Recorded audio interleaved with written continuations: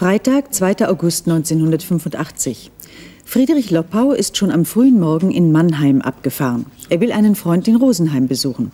20 Kilometer von München hat er die Autobahn verlassen, um zu tanken und Mittag zu essen. So, bitte schön. Ja. Ja, Guten Appetit. Sind Sie nicht gut? Sind Sie nicht gut? Ja. Doch, doch, doch, doch. Sind schon recht weit gefahren heute? Naja, von, von Mannheim her. Na, das ist aber schon ein Schlauch. Ich glaube, ich habe schlecht geschlafen heute Nacht, das ist alles. Wollen Sie vielleicht einen Kaffee trinken? Das ist eine Idee, aber eine anständige. Ist schon recht. Äh, Fräulein, noch was. Ja? Äh, Ich müsste mal mit meiner Frau telefonieren, also nach Mannheim. Äh, Ferngespräch. Geht es bei Ihnen? Freilich, gingen Sie mit mir an die Theke?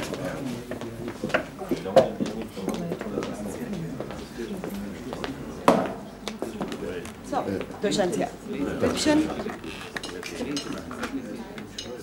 Kann ich? Ja, bitte.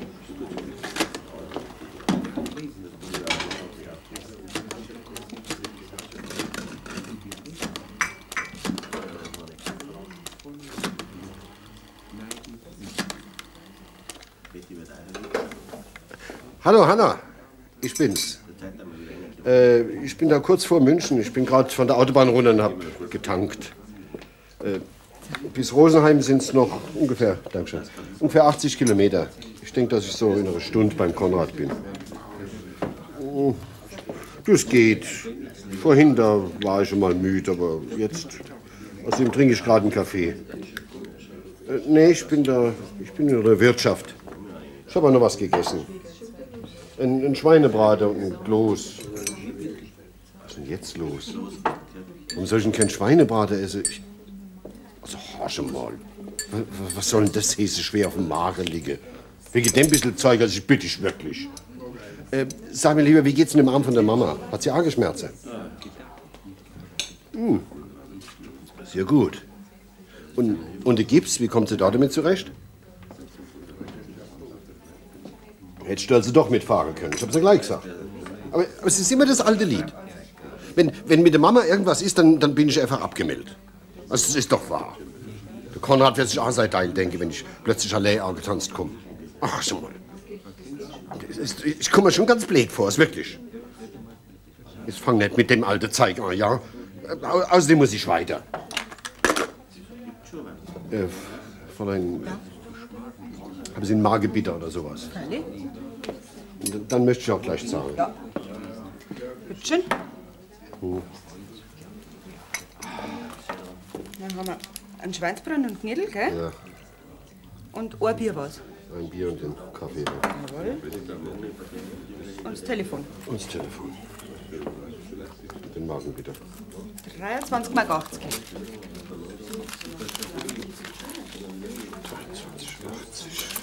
Da, steht so. Dankeschön. Bitte schön. Also dann, Prost. Wiedersehen. Wiedersehen. Eine Karten? Oh, ja, danke Bitte schön. schön. Wird ja halbe weiß. Ja, freilich. Magst du noch nicht? Ja, wo gar nicht. Warte, schon lange nicht mehr da. Ha? Habt ihr euch nicht so herumdrehen? Ja, mei, musst du anders daheim umeinander schauen, was eine geil Baustelle? Nein. Entschuldigung. Ja? Ich muss mal ganz blöd fragen. Wie komme ich jetzt zurück zur Autobahn? Äh, Links oder rechts? Links natürlich. Ach, richtig. Dankeschön. Bitte schön. Also, du weißt, ein bisschen deppert ist der fast schon. Der kommt ja gerade von der Autobahn und jetzt weiß er nicht mehr, wer er zurückkommt. Ja, Preis halt wahrscheinlich. Ja, da hast du recht. Auf einem Autobahnparkplatz 25 Kilometer vor München hat das Ehepaar Jacobi, das von einem Skandinavienurlaub zurückkommt, noch einmal Rast gemacht. Besonders Iris Jacobi, die im fünften Monat schwanger ist, freut sich darauf, bald zu Hause zu sein. Du hast ja schon alles eingepackt. Ja. Noch ein Schluck Tee? Da muss ich ja gleich wieder zur Toilette. Willst du noch ein bisschen rumlaufen oder wollen wir wieder? Wie lange fahren wir denn? Höchstens eine halbe Stunde, dann haben wir es geschafft. Geht's dir gut? Sehr gut. Und den Putzi auch. Von mir aus können wir fahren. Na prima. Jetzt freue ich mich aber wieder auf zu Hause.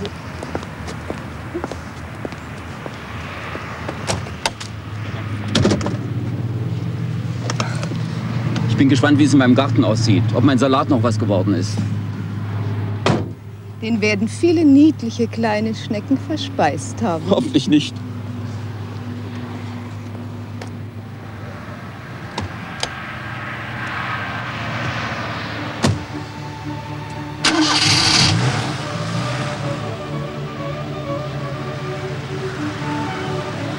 Die Jakobis haben auf ihrer Reise mehr als 3000 Kilometer ohne einen Unfall zurückgelegt.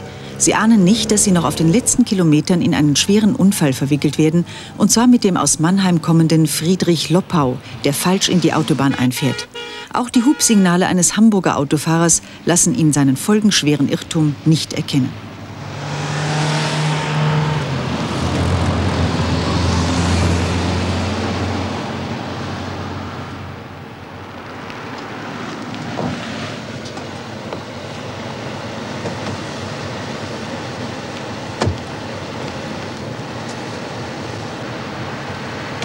Hallo. Autobahnmeisterei? Ja, ich will den Geisterfahrer melden. Ja, einen kleinen Moment, ich verbinde durch mit der Polizei.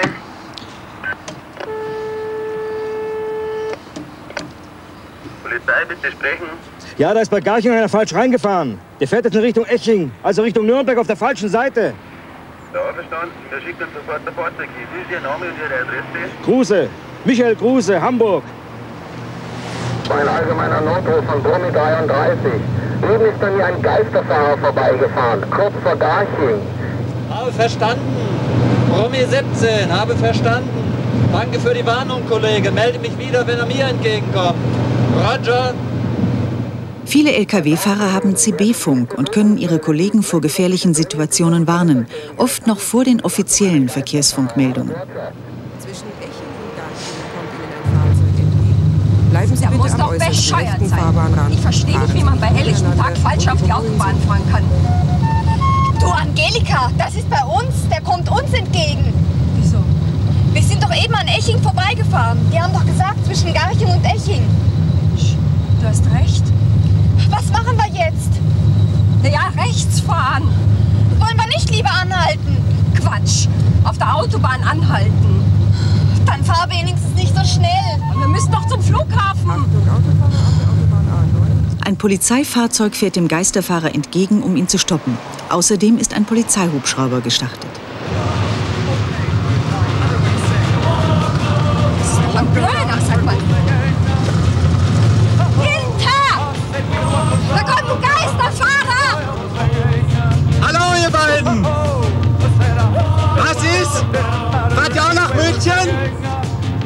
Ich kann nichts verstehen. Ja, ich, ich kapiert das nicht. Hinter! Rock'n'Roll Music Was ist? auf Radio 1. Was ist denn los mit euch? Ah, Kannst du nicht endlich den Laster überholen? Der stinkt so, mir schon ganz schlecht. Der ist mir zu schnell. Dann halte bitte einen größeren Abstand. Die Jakobis hängen jetzt hinter Brummi 17 und möchten ihn überholen. Brummi 17, der Typ kommt mir tatsächlich entgegen. Bin gespannt, wann er merkt, dass er falsch ist.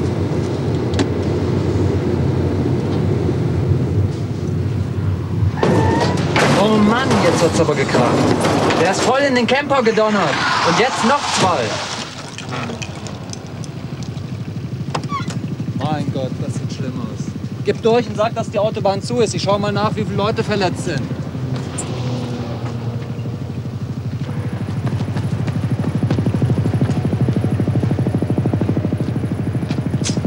Habt ihr auch Verletzte? Ja, einen! Ist aber nicht so schlimm. Los, gib durch! Drei schwer und ein! Bring Verbandskasten und eine Brechstange mit! Der Gurt rettet dem Geisterfahrer Friedrich Loppau und dem Ehepaar Jacobi das Leben. Dann was ist denn mit der Tür los? Meine Frau drauf. Augenblick, wir kriegen gleich eine Brechstange, wir holen sie raus.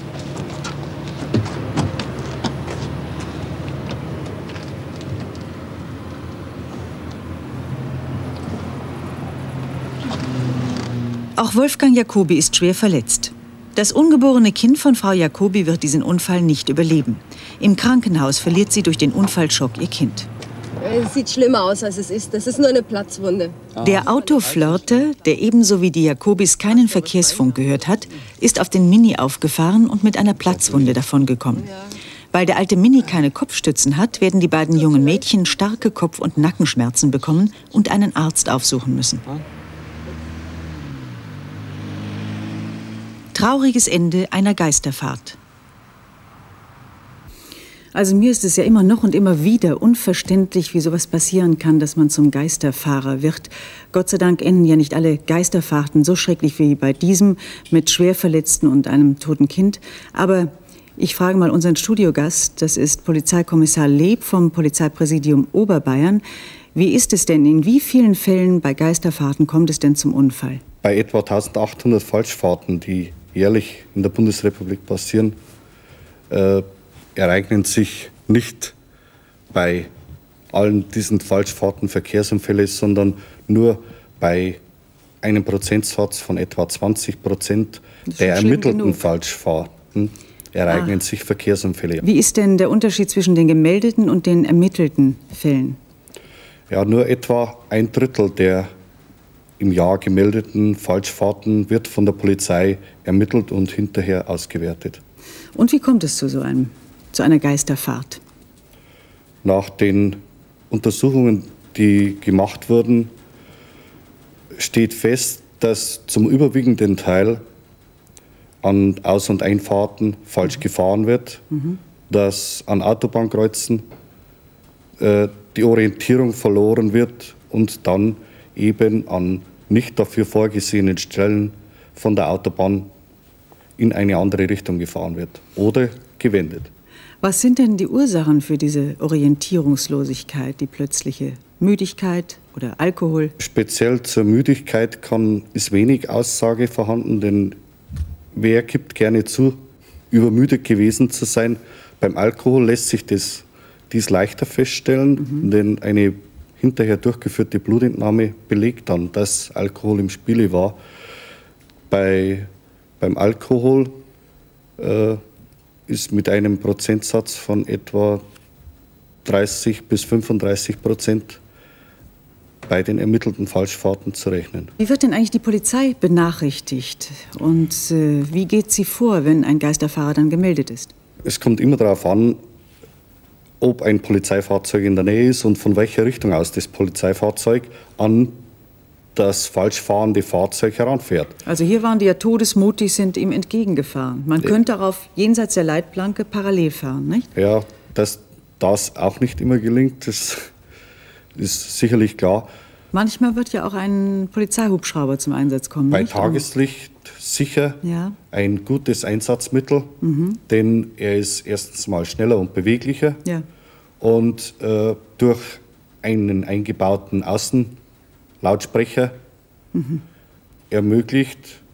Äh, Kann den, er mit dem Geisterfahrer sprechen? Er spricht ihn an, fahren Sie äh, rechts ran, also aus der Sicht des Geisterfahrers gesehen rechts ran und halten Sie an. Nun haben unsere beiden Mädchen, die waren ja sehr ängstlich. Die eine hat gesagt, fahr wenigstens langsam oder halte besser. Dann hat die andere gesagt, das darf man nicht auf der Autobahn. Darf man denn nun oder nicht? Es ist zwar generell verboten, auf der Autobahn anzuhalten, aber hier in diesen Ausnahmesituationen würde ich sagen, steht das Halteverbot nicht entgegen. Welche Altersgruppen, Herr Leb, sind es denn nun? Sind es mehr die Älteren wie in unserem Fall oder sind es die ganz Jungen? Wer fährt falsch? Wer ist nach, Geisterfahrer? Nach den Auswertungen äh, der ermittelten Falschfahrten ja. ist es so, dass alle Altersgruppen gleichmäßig mhm. hier bei den Falschfahrten äh, beteiligt sind. Also es ist keine spezielle Altersgruppe, mhm. die hier besonders hervortritt. Was macht man denn als Geisterfahrer, wenn man merkt, man hat es jetzt falsch gemacht? Ich würde dem Geisterfahrer empfehlen, sofort, so weit als möglich, sich von der Fahrbahn äh, nach rechts zu entfernen. Auch wenn, er, wenn er auf der Überholspur fährt, ja. also den Zwischenraum zwischen Fahrbahn und Mittelschutzplanke nutzen und dort anzuhalten. Mhm. Und dann, aber nur dann, wenn wirklich kein Fahrzeug weit und breit, weit zu, und breit ist. zu sehen ist, ja. versuchen zu wenden und um wieder in die richtige Fahrtrichtung zu kommen. Ansonsten abwarten, bis die Polizei diese Stelle absichert und ihm ein gefahrloses Wenden ermöglicht. Und Herr Hertel, Frage an Sie. Wie reagieren denn die Versicherungen auf Geisterfahrer? Wir befassen uns mit den Unfällen, mit den Schäden, die die Geisterfahrer verursacht haben. Wir entschädigen die Verkehrsopfer, wie in jedem anderen Fall auch. Mhm. Ein Problem sind die Vollkaskoversicherungen. Wenn der Geisterfahrer sein Pkw Vollkasko versichert hatte und da Ansprüche stellt, wird er wohl leer ausgehen, weil wohl in all diesen Fällen grobe Fahrlässigkeit äh, vorliegt, wie sicher in diesem Film hier auch, mhm. und bei grober Fahrlässigkeit keine Ansprüche bestehen. Danke Ihnen. Die beiden jungen Mädchen aus Ingolstadt haben durch den Unfall ihren Urlaubsflug nach Afrika verpasst. Ihr Flugschein ist verfallen, das Auto kaputt. Per Bahn fahren sie nach Ingolstadt zurück, lassen sich sofort ärztlich untersuchen und gehen am Montag zu einem Rechtsanwalt. Angelika Schweigert ist Drogistin, ihre Freundin Julia Löschner Sekretärin bei Audi. So, Sie haben einen Unfall gehabt. Was sieht's? Ja, ja, mit einem Geisterfahrer. Geisterfahrer? Ja. Erzählen Sie mal bitte, gerade Sie vielleicht. Ja, also wir fahren auf der Autobahn äh, zwischen Garching und Eching und wir hören da so eine Meldung, ähm, und dass ein Geisterfahrer kommt. Vor uns fuhr einer mit einem Wohnwagenanhänger ja. und der hat anscheinend die Meldung nicht gehört gehabt. So, jetzt müssen wir nochmal äh, eins nach dem anderen hier, dass wir das alles auf die Reihe kriegen. Das ja. war also die Autobahn und ja. hier kam Ihnen ein Geisterfahrer entgegen. Ja, und da war eben auch noch, die Autobahn war ursprünglich dreispurig und äh, die wurde dann, da war eine Baustelle und wurde also zweispurig so. Wel welche Spur war dann gesperrt? Die rechte. Was hatten Sie denn für ein Auto? Ein Mini Cooper. Mini. Und vor Ihnen war ein Wohnwagen. Gespann, wenn ich das richtig verstanden habe. Ja. Der scherte plötzlich aus, um zu überholen. Also ich so, weiß nicht, vielleicht hat er die Meldung nicht gehört, dass da ein Aber vor dem Wohnwagen war noch ein anderes Kfz? Ein ja, da war ein, ein LKW, LKW war das. den er ja. überholen wollte. Und den ja, wollte er überholen, langsam, ja. fuhr links raus. Ja. Und da kam dann dieser Geisterfahrer ja, entgegen. Und, äh, und dann hat es gekracht. Na, und hinter mir fuhr einer, der fuhr zuerst schon die ganze Zeit neben uns. Und äh, wir haben versucht, ihm klarzumachen, dass da ein Geisterfahrer kommt. Er wollte nämlich mit uns rein. flirten. Ich habe gleich gesagt, Was will der flirten? Ja, ja. Auf alle Fälle ist er dann endlich ist er also äh, hinten reingefahren? Wieder zurückgefahren, hat sich hinten uns angeschlossen, aber so dicht, dass der musste einfach auffahren. Aha, Sie meinen also, er wäre für, für die Geschwindigkeit, die Sie bzw. er gefahren ist, wäre zu nah drauf gewesen? Ja. ja. Wer saß jetzt in Ihrem Kfz am Steuer? Ich. Sie sind Frau Schweigert. Schweigert. Ja? Und wer war denn Eigentümer von dem Kfz? Ich. Darf ich mal gleich fragen, waren Sie angeschnallt? Ja. Beide? Ja. Und hat das Auto Nackenstützen? Nein. Nee. Keine Nackenstützen? äh, ja, ich habe vorsichtshalber gefragt, aber lag auf der Hand. Wir wollten nach Kenia fliegen am, am Freitag. Und äh, durch den Unfall konnten wir jetzt nicht zum, zum Flughafen mehr kommen. Und wir haben dann eben auch gleich äh, von, von der Polizeistation das Reisebüro angerufen und gefragt, ob äh, man irgendwie noch nachfliegen kann oder ob das ersetzt wird. Und die haben gesagt, äh, dass das nicht geht. Und naja, dieser, dieser, die haben gesagt, wir haben auch keine Reiseversicherung abgeschlossen. Und, äh, Sie meinen äh, eine Ausfallversicherung? Eine Ausfallversicherung. Also für den Fall, dass ja. darf, darf ich mal vorab schnell fragen, Sie waren beide beim Arzt, hat er denn ein Attest schon irgendwie ja, ausgeschrieben? Ja. Was steht da drin? Haben Sie es dabei zufällig? Hals Wirbelsyndrom. Ein HBS-Syndrom, Schleudertrauma. Sie kriegen also, so wie es ausschaut, äh, die Reise aufgrund der Körperverletzung ersetzt. Okay. Wobei äh, ich jetzt gleich sagen muss, es können Interessenkonflikte auftreten, nämlich wenn die Fahrerin, sie jetzt möglicherweise auch falsch gehandelt hat, dann hätte die Beifahrerin unter Umständen Ansprüche gegen die Fahrerin. Wegen des möglichen Interessenkonfliktes bittet der Anwalt Fräulein Löschner, für einen Moment das Büro zu verlassen. Er möchte von Fräulein Schweigert wissen, ob man ihr in Zusammenhang mit dem Unfall einen Fahrfehler vorwerfen könne. Sie ist sich keiner Schuld bewusst. Der Anwalt fragt sie dann nach den Kosten für die Afrikareise. Die hat also rund 2500 Mark gekostet. Ja. Diese Ausfallversicherung, die hätte noch 75 Mark gekostet und das haben wir uns eben gedacht, das brauchen wir nicht. Und jetzt aha, aha.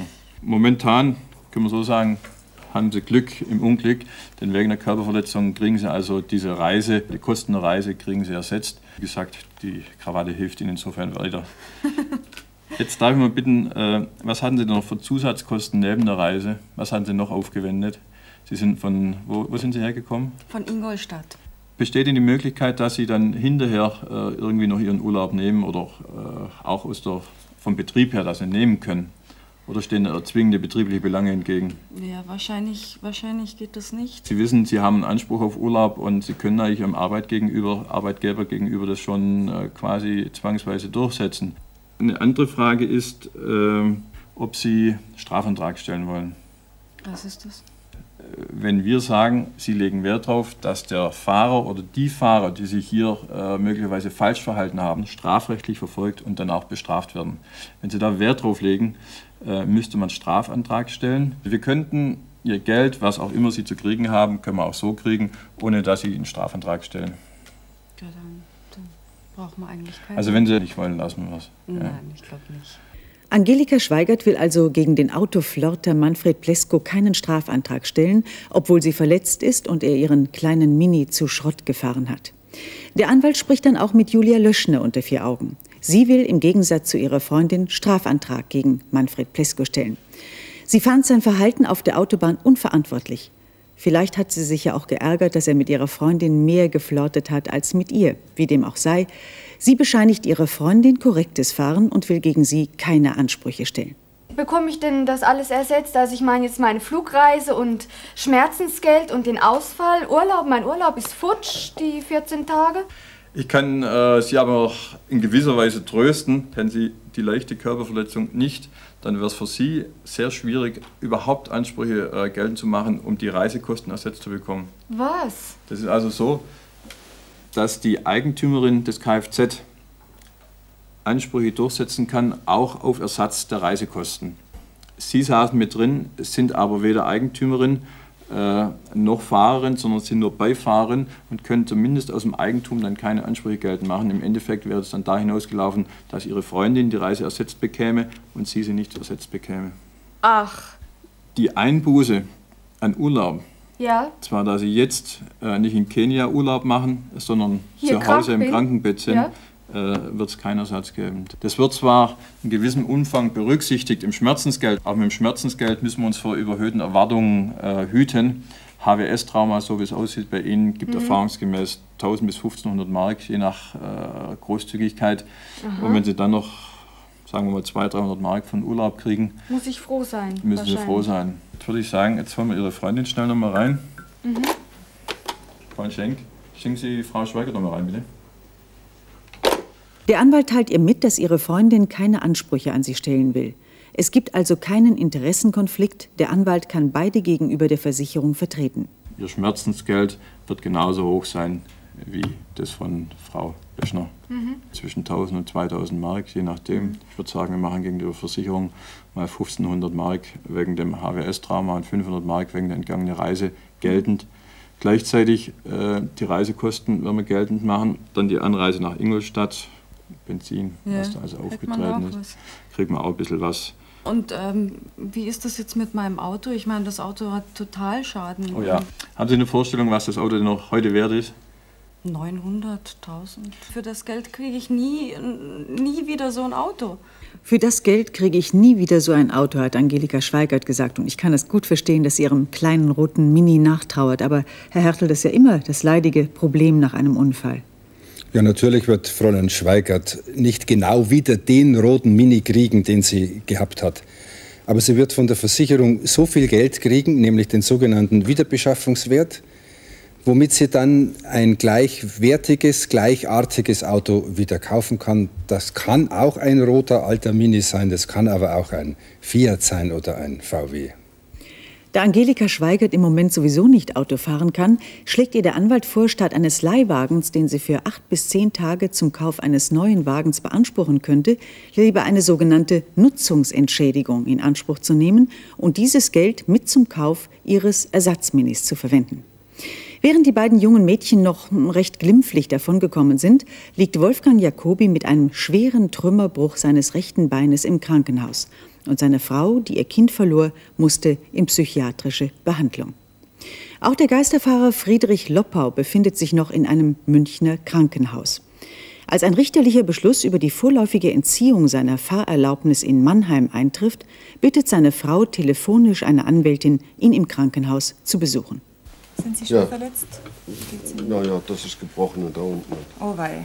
Die Milz haben sie mir rausgenommen. Oh, das ist aber schlimm. Ich habe da, das heißt, meine Frau hat mich angerufen und hat gesagt, da ist ein Schreiben gekommen von der Behörde, dass die den Führerschein äh, kassiert haben und behalten wollen vorläufig, weil ich äh, einmal falsch gefahren bin und dann hätte ich getrunken und dann soll ich übermüdet gefahren sein. Ja, stimmt es denn, äh, dass Sie betrunken gefahren sind? Ach Quatsch, Alkohol Entschuldigung. Ja, ja, Das ist ist ich, ich habe am Tag vorher überhaupt nichts getrunken. Ich habe an diesem Tag mittags getrunken ein Bier. Mhm. Wann, So war, wann war denn der Unfall genau? 13.30 Uhr ungefähr bin ich aus der Wirtschaft raus. Ich Mhm. denke, das war um zehn Minuten später oder sowas. Ich bin vorher am Tisch eingeschlafen. Es war heiß und ich habe gegessen. Dann habe ich noch mit meiner Frau telefoniert und habe ich mich noch geärgert. Mhm. Und ich habe auch schlecht geschlafen in der Nacht vorher. Und da hat ne- nebendran hat ein Kind geplärrt die ganze Nacht. Und Mhm. Woher Und- kamen Sie denn? aus Mannheim, von Aus zu Hause. Mannheim, ja. Und wann sind Sie da losgefahren von Mannheim? Um 6 Uhr in der Früh, Mhm. weil ich unterwegs noch was erledigt habe. Sonst Also Sie hatten praktisch eine Pause. Eine halbe Stunde habe er in Würzburg Station gemacht, erzählt Herr Loppau, und dann noch einmal fünf Minuten Pause auf einem Rastplatz. Gegen 12 Uhr sei er dann von der Autobahn abgefahren, um günstig zu tanken und Mittag zu essen. Außer dem schon erwähnten Bier habe er, nach einem telefonischen Streit mit seiner Frau, einen Magenbitter getrunken. Dann sei er zur Autobahn zurückgefahren. Wie ist denn das passiert, dass Sie da falsch auf die Autobahn auffuhren? Haben Sie da eine Erklärung oder? Also da- da- das ist die Frage, die ich mir selber dauernd vorlege und ich weiß es nicht. Glauben Sie, dass Sie deswegen mit, wegen dem Streit mit Ihrer Frau so in Gedanken waren, dass Sie vielleicht deswegen die Auffahrt verpasst haben? Ich kann nicht sagen, dass ich es denke, aber ich kann sagen, es ist, ist das Einzige, was mir überhaupt einfällt. Mhm. An den Unfall erinnere ich mich überhaupt nicht. Da können, haben Sie gar keine Erinnerung. Keine, keine Erinnerung. Und inwieweit können Sie sich noch erinnern? Ich bin auf der Autobahn gefahren, mir kamen Fahrzeuge entgegen. Da haben sogar ein paar geblinkt. Da habe ich gedacht, das ist eine geteilte Fahrbahn. Nicht? Das ist eine Baustelle. Und da kommen mir halt Fahrzeuge entgegen, wie es das ja immer wieder gibt auf der Autobahn. Entschuldigen Sie, wenn ich Sie unterbreche, aber wie schnell sind Sie ungefähr gefahren? 80. Und dann ist mir ein Lastwagen entgegengekommen und der hat so gemacht. Und dann plötzlich so, habe ich gedacht, ich bin auf der falschen Fahrbahn. Dann haben Sie es gemerkt, also bei dem LKW-Fahrer. Das weiß ich noch. Da habe ich gedacht, Ja. ich werde wahnsinnig. Da habe ich gedacht, was muss ich jetzt machen? Umdrehen, das geht nicht. Es kamen äh, Autos entgegen. Und dann habe ich nochmal abgebremst, Mhm. ich weiß nicht wie viel. Und dann, dann weiß ich wieder, wie es wehgetan hat. Und dann haben die an mir rumgezerrt. Und dann weiß ich aber wieder nichts mehr. Und dann bin ich im, im, im, im, im Dings aufgewacht, im Intensivstation. Sie hatten also einen ziemlich schweren Unfall. Sind denn da andere auch noch dabei verletzt worden?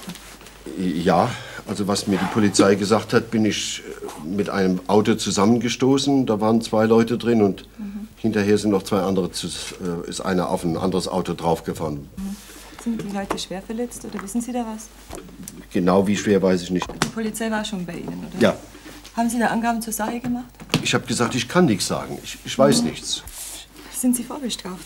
Nein. In irgendeiner Nein, nein, nein, nein. Also auch nicht mit Verkehrs... mit Autosachen.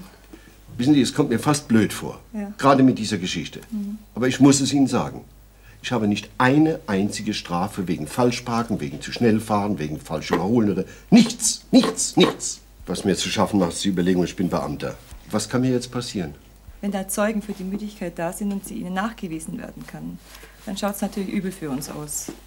Aber, aber ich, ich war nicht müde, wie ich aufgestanden bin. An einem kommen wir sicher nicht vorbei und das ist die, äh, die Körperverletzung.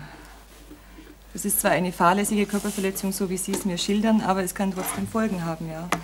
Das ist auf jeden Fall klar, dass unsere Verteidigung darin bestehen muss, dass Sie ja nicht über 90 Tagessätze bekommen und ja nicht über drei Monate, auch wenn Sie zur Bewährung ausgesetzt sind. Das heißt Gefängnisstrafe.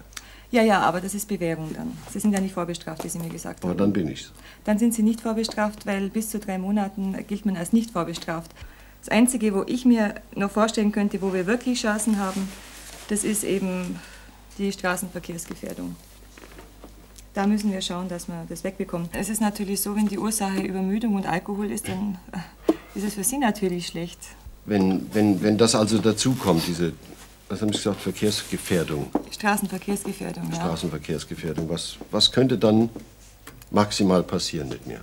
Das Schlimmste, was Ihnen passieren könnte, ist, dass Sie zu einer Gefängnisstrafe auf Bewährung verurteilt werden. Was für Sie natürlich auch wieder beamtenrechtliche Folgen haben dürfte. Und natürlich den äh, Entzug der Fahrerlaubnis. Gefängnisstrafe dann über drei Monate, oder? Gefängnisstrafe über drei Monate, ja. Und dass Sie unter Umständen, das muss ja nicht sein, aber unter Umständen mit einem Disziplinarverfahren rechnen müssen. Sind Sie eigentlich rechtsschutzversichert? Ja. Ja, dann ist ja günstig. Mannheimer Assekuranz. Jetzt, äh, äh, Frau Rechtsanwältin, habe ich noch eine Frage. Ja. Ich bin doch äh, Casco versichert mit Mhm. 1000 Mark Selbstbeteiligung. Ja. Und der Wagen ist, wie die Polizei gesagt hat, Schrott. Mhm. Ähm, könnten Sie sich da irgendwie mit der, mit der Versicherung gleich in Verbindung setzen und dass das auch geregelt wird?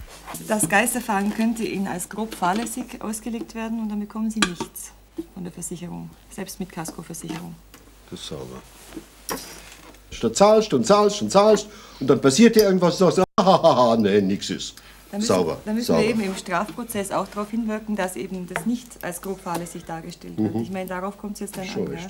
Die Versicherung wird mit Sicherheit den Ausgang abwarten. äh, ich, ich, ich, ich, ich bin jetzt, Sie können nichts dafür, ich weiß Ich es. mache doch nichts. Ich kann das schon verstehen, wenn Ihnen die Nerven durchgehen. Das ist wenigstens etwas. Gut, jetzt beruhigen Sie sich wieder. Ich komme wieder vorbei nach der Akteneinsicht. Mhm. Und dann kann ich Ihnen auch schon mehr sagen. Können Sie sich vorstellen, ein Leben lang nichts passiert, nicht einmal falsch geparkt oder sowas? Ich glaube, niemand möchte im Moment in der Haut von Friedrich Loppau stecken.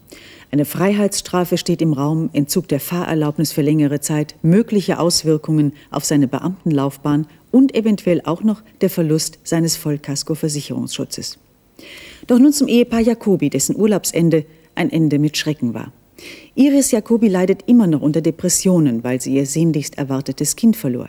Ihr Mann lag drei Monate mit einem zertrümmerten Bein im Krankenhaus. Herr Dr. Jacobi. Ah ja. Nach seiner Entlassung besucht Dr. Jacobi, der freiberuflicher Chemiker ist, sofort eine Rechtsanwältin. Er macht sich nicht nur Sorgen um seine Frau und die Heilung seines Beins, sondern auch um seinen Lebensunterhalt. Sie haben diesen schweren Unfall gehabt, gell? Ja. Was ist denn alles passiert? Ich meine, Sie haben doch schwere Verletzungen. Vielleicht zuerst meine Frau. Ihre Frau zuerst gut, ja? Die war die Beifahrerin. Sie war die Beifahrerin, Mhm. auch angeschnallt. Mhm. Ein Schlüsselbeinbruch, das rechte Schlüsselbein. Rechts, ja. Und dann ist eine, war es hier eine Platzwunde am Haaransatz. Ist sie in die Scheibe geschleudert worden, oder? Ja, das weiß ich gar nicht so Wissen Sie genau, wie das entstanden ne? ist. Mhm. Jedenfalls hat sie jetzt doch eine sechs Zentimeter lange Narbe. Ja. Aber das, das eigentliche Problem ist, dass sie, sie hatte ja einen Abgang. Sie war im acht, in der 18. Woche schwanger Ja. und Wie alt ist denn Ihre Frau, wenn ich fragen darf? 36. Und es ist Ihr erstes Kind, wäre das Ja, gewesen. Mhm. Und es war ein Wunschkind. Ja. Ja. Und wir haben länger drauf Und- gewartet. Ist der Abgang direkt nach dem Unfall ja. gewesen? Ja, das Fruchtwasser ist schon im Notarztwagen Mhm. teilweise abgegangen.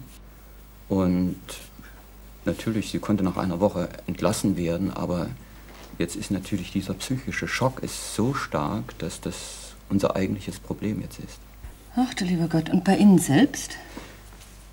Ja, ich hatte einen Unterschenkelbruch, rechter Unterschenkel gebrochen, Mhm.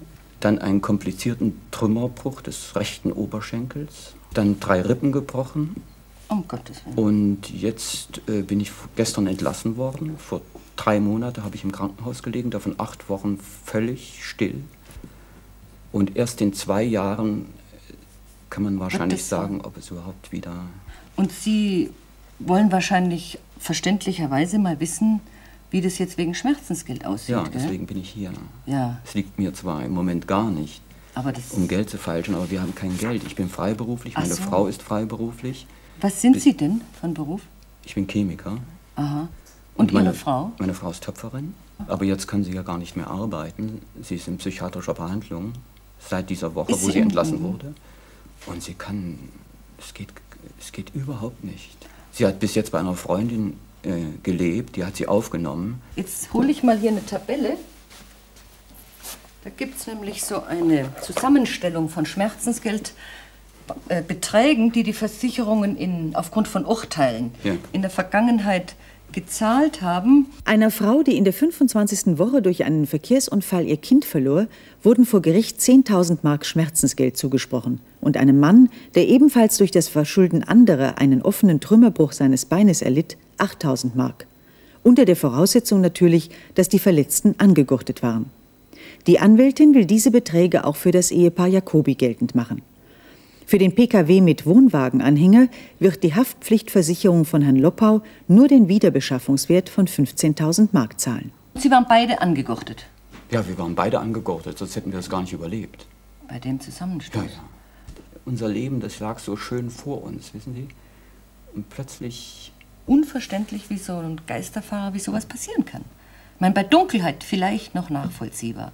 Aber am helllichten Tag bei schönem Wetter, gell? Hatten Sie zufällig das Radio eingeschaltet? Da ist doch oft über diese Verkehrswelle, wird so mitgeteilt, Achtung, Mhm. Autobahn sowieso, Geisterfahrer, war da nichts. Ich hatte klassische Musik an Mhm. und habe nichts gehört. Haben nichts gehört. Hm. Vielleicht in Zukunft. Sie sind ja bei diesem Unfall, Sie und Ihre Frau, verletzt. Ja. Sie könnten, der Geisterfahrer hat ja garantiert mit einem Strafverfahren zu rechnen. Ja. Sie könnten beantragen, dass Sie Nebenkläger sind. Die Anwältin kann als Nebenklägervertreterin schneller Akteneinsicht bekommen, will aber kurz vor der Gerichtsverhandlung die Nebenklage wieder zurückziehen, wenn die Schuldfrage keine Zweifel offen lässt. Aber Dr. Jacobi wird in jedem Fall als Zeuge geladen. Und da würde im Prinzip Ihre Frau auch geladen. Ja. Wenn natürlich der Psychiater zum Beispiel sagt, das ist eine zu große seelische Belastung, das Ja. nochmal zu schildern, Ja. da kommt ja das Kind zur Sprache Ja. und so, dann könnte man sicherlich beantragen, dass Ihre Frau nicht erscheinen muss. Was würden Sie denn sagen? Sie kennen Ihre Frau ja, ich kenne sie ja nicht. Ich würde es ihr überlassen. Man muss eben jeden Tag hoffen, dass es der Zustand Ihrer Frau sich bessert, gell? Ja, ich hoffe es auch. Wann kann ich jetzt mit Geld rechnen? Also ich verspreche Ihnen, ich diktiere sofort was Ja. und werde mich dann sofort mit dem Sachbearbeiter telefonisch in Verbindung setzen, Ja, ja. damit der sofort mal eine akzeptable Summe überweist. Und wenn die äh, Versicherung das Wiedererwarten nicht tut, können Sie auf Kosten der Versicherung einen Kredit aufnehmen. Neben allen Sorgen und Schmerzen, die die Opfer von Verkehrsunfällen erleiden, müssen sie sich auch noch mit den Versicherungen auseinandersetzen, Unfallberichte und Schadensmeldungen ausfüllen und die Höhe ihrer Schmerzensgeld- und Schadensersatzforderungen aushandeln. Herr Hertel, soll man sich eigentlich in jedem Fall einen Anwalt nehmen? Ich meine, ich denke jetzt auch mal an die Kosten. Und fühlt sich eine Versicherung durch einen Anwalt unter Druck gesetzt? Wenn ein Unfall zu Verletzungen geführt hat und Schmerzensgeld und Verdienstausfallansprüche zur Debatte stehen, dann sollte sich der Verletzte der Hilfe eines Anwalts bedienen. Und die Versicherungen zahlen auch die Kosten für diesen Anwalt. Unter Druck gesetzt fühlen sie sich dadurch gar nicht. Im Gegenteil, es gibt Fälle, in denen Versicherer Verletzten empfehlen, einen Anwalt sich zu nehmen. Was ist mit dem Schmerzensgeld? Glauben Sie, dass die Anwältin mit ihren Forderungen durchkommt? Ich meine 10.000 Mark für das ungeborene Kind und 8.000 Mark für das Bein? Die Vorstellungen sind nicht ganz unrealistisch. Die Gerichte sprechen für den Verlust eines ungeborenen Kindes Beträge zwischen 6.000 und 10.000 Mark zu. Für einen schweren Trümmerbruch 8.000 Mark kann in Ordnung sein. Es hängt von dem Ergebnis der Heilbehandlung ab. Was ist, wenn sich dann ein Dauerschaden herausstellt, dass der Mann sein Leben lang humpelt zum Beispiel? In dem Augenblick, in dem man definitiv die Frage des Schmerzensgeldes lösen will und darüber entscheiden will, sollte die Frage des Dauerschadens einigermaßen geklärt sein durch medizinische Gutachten. Was ist mit dem Verdienstausfall? Wie lange bekommt man ihn? Wie hoch ist er in diesem Fall? Verdienstausfall bekommt man, solange man wegen des Unfalls kein Einkommen beziehen kann. Man bekommt den Verdienstausfall in dem Augenblick, in dem man ihn durch geeignete Unterlagen nachweist. Im Fall des äh, Dr. Jacobi ist bestimmt schon während seiner monatelangen, wochenlangen Krankenhausbehandlung Verdienstausfall entstanden. Hätte er sich gleich an die Versicherung gewendet, hätte er sicher heute schon Geld. Wenn er gekonnt hätte. Fünfeinhalb Monate nach dem Unfall findet die Gerichtsverhandlung statt. Da Dr. Jacobi noch ohne Auto ist, hat eine Freundin von Frau Jacobi sie und ihren Mann zum Gericht gefahren. Hier werden sie zum ersten Mal den Geisterfahrer sehen, den Angeklagten Friedrich Loppau. Friedrich Loppau, fahrlässige Gefährdung des Straßenverkehrs und fahrlässige Körperverletzung, das ist es. Warum ist denn der nur wegen fahrlässiger Körperverletzung angeklagt? Der hat doch unser Kind getötet. Iris, bitte. Bleib ruhig. Unser Kind war ja doch noch gar nicht geboren. Aber es hat doch schon gelebt. Das verstehe ich auch nicht. Ich finde, der müsste auch wegen fahrlässiger Tötung angeklagt werden. Ja, Herr Loppau, Sie haben jetzt ja die Anklageschrift auch gesehen. Bei gehöriger und zumutbarer Sorgfalt hätte er erkennen müssen, dass er übermüdet und aus diesem Grunde nicht mehr verkehrstüchtig war. Nicht mehr verkehrstüchtig. Das, das ist Unfug. Ich war ganz, ganz normal verkehrstüchtig wie immer. Ja, jetzt regen Sie sich mal nicht so auf, aber es gibt jetzt auch eine Zeugin dafür. Wofür? Dass ich Ja, nicht fahren konnte, oder Ihre? Übermüdung, diese Kellnerin. Aber wie ich rausgefahren bin, war ich. Ja, das ist jetzt natürlich auch der Hauptpunkt, worauf es in der Hauptverhandlung jetzt ankommt, dass wir diese Übermüdung wegbekommen. Wenn es nicht gelingt, dann haben wir wirklich Pech gehabt. Tag, Entschuldigung, dass ich störe. Sie sind doch der Herr Loppau, der Geisterfahrer, ne? Ich würde gerne so ein Interview mit ihm machen und so hören, wie das brennt, interessieren mit so einem Entschuldigen Sie bitte, richtigen... können Sie dann bitte die Hauptverhandlung abwarten, nach der Hauptverhandlung. Wenn Sie wollen, können Sie gern mit ihm reden. Aber Okay, abgemacht, vielleicht später, ja? Okay, Ja. danke. Was ist denn das für ein Mensch? Reporter scheint's. M muss ich dem was sagen? Sie müssen überhaupt nichts sagen. Was macht hier Mini? Tja, der ist Schrott. Haben Sie einen neuen? Naja, ich habe mein Geld ja schon von Ihrer Versicherung bekommen. Von meinem Vater habe ich mir noch ein bisschen was geliehen und dazu habe ich mir einen neuen gekauft. Also gebrauchten neuen. Ja, na gut, mein Vater hat. Meiner hatte auch, ich glaube, so einen Schaden, 2007 und ein paar zerquetschte. Ja. Aber ich habe jetzt auch einen neuen. Ja, was? Und schnell, Sie kennen mich Ja? auch. Probieren wir heute Abend aus. Ne? Ja? Ja. Vielleicht. Die Beteiligten in Sachen Loppau bitte in den Sitzungssaal.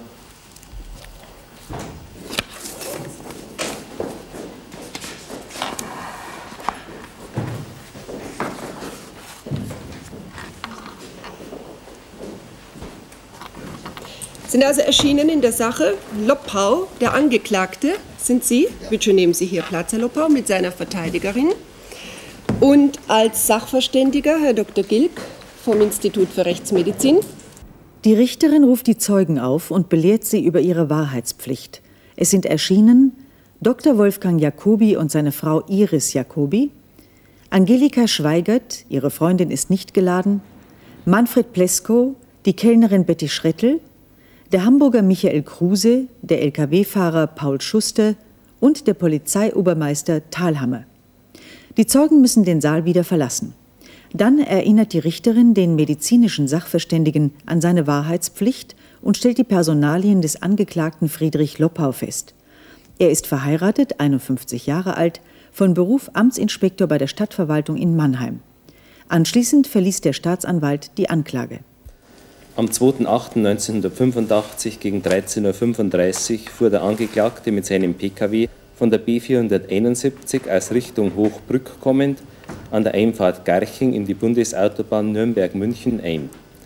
Infolge Übermüdung übersah er die beidseitig aufgestellten Verbotsschilder und Richtungspfeile auf der Fahrbahn und fuhr deshalb in falscher Richtung in die Bundesautobahn ein, sodass er auf der Fahrbahn für den Verkehr Richtung München in Richtung Nürnberg fuhr. In Höhe von Kilometer 516,5 kam es zum Zusammenstoß mit dem entgegenkommenden Wohnwagengespann des beteiligten Dr. Jacobi. Bei diesem Zusammenstoß entstand ein Eigenschaden in Höhe von 7.000 D-Mark und ein Fremdschaden in Höhe von 15.000 D-Mark. Die Beteiligten Dr. Wolfgang Jacobi sowie Iris Jacobi wurden bei diesem Unfall schwer verletzt. Die im viereinhalbten Monat schwangere Iris Jacobi verlor aufgrund des Unfalles ihre Leibesfrucht. Bei gehöriger und zumutbarer Sorgfalt hätte der Angeklagte bemerken können, dass er übermüdet und aus diesem Grunde nicht mehr verkehrstüchtig war und deshalb falsch in die Bundesautobahn eingefahren war und damit den vorhersehbaren schweren Unfall vermeiden. Eine beim Angeklagten am 2.8.85 um 14.55 Uhr entnommene Blutprobe ergab einen BRK-Mittelwert von 0,35 Promille. Der Angeklagte wird daher beschuldigt, im Straßenverkehr ein Fahrzeug geführt zu haben, obwohl er infolge körperlicher Mängel nicht in der Lage war, das Fahrzeug sicher zu führen und hierdurch Leib oder Leben zweier anderer sowie fremde Sachen von bedeutendem Wert gefährdet zu haben, wobei er fahrlässig handelte und die Gefahr fahrlässig verursachte, und durch Fahrlässigkeit die Körperverletzung zweier anderer verursacht zu haben, strafbar als ein Vergehen der fahrlässigen Gefährdung des Straßenverkehrs, in Tateinheit mit zwei rechtlich zusammentreffenden Vergehen der fahrlässigen Körperverletzung Dankeschön, Herr Staatsanwalt. Herr Loppau, Sie haben die Anklage gehört. Ich belehre Sie darüber, dass es Ihnen freisteht, sich zur Sache, also zu der Anklage, zu äußern oder auch nicht. Sie hatten sich bisher im Ermittlungsverfahren nicht geäußert. Wie wollen Sie es heute halten? Ich will mich äußern. Sie möchten also Angaben Alles, machen. alles, was ich sagen kann. Jawohl, gut. Zunächst macht Herr Loppau Angaben über seine persönlichen Verhältnisse. Er verdient netto 2350 Mark. Für die Berechnungen einer eventuellen Geldstrafe wird auch der Verdienst seiner Frau, sie verdient 1167 Mark, dazugerechnet. Allerdings werden auch die monatlichen Aufwendungen von 1400 Mark für sein Reihenhaus berücksichtigt. Die Richterin bestätigt, dass Friedrich Loppau keinerlei Vorstrafen hat und auch keine Punkte in Flensburg. Bei der Vernehmung zur Sache interessiert sich die Richterin auch für den Tag vor dem Unfall. Es war ein normaler Arbeitstag, sagte Loppau, und ins Bett bin ich schon um 22 Uhr gegangen. Dass ihn während der ganzen Nacht Kindergeschrei gestört hat, verschweigt er. Wie war die Nacht? Hast gut geschlafen? An sich schlafe ich sehr gut. Ich war ein bisschen aufgeregt, vielleicht wegen der Fahrt und weil meine Frau nicht mitfahren wollte oder konnte oder Wo sollte denn die Fahrt eigentlich hinführen? nach Rosenheim. Aus welchem Anlass? Da ist ein Schulkamerad von mir, hat seinen 51. Geburtstag und der hat mich eingeladen, oder uns eingeladen eigentlich, meine Frau und mich. Und warum Also, ist sie jetzt nicht mitgefahren? Weil meine Schwiegermutter hat sich am, am Tag vorher den Oberarm gebrochen und hat einen Gips gekriegt und Mhm. da hat sie gedacht, sie ist unentbehrlich, sie muss die Mama versorgen. Sie sagen das irgendwie so ein bisschen eigenartig, Herr Lopau.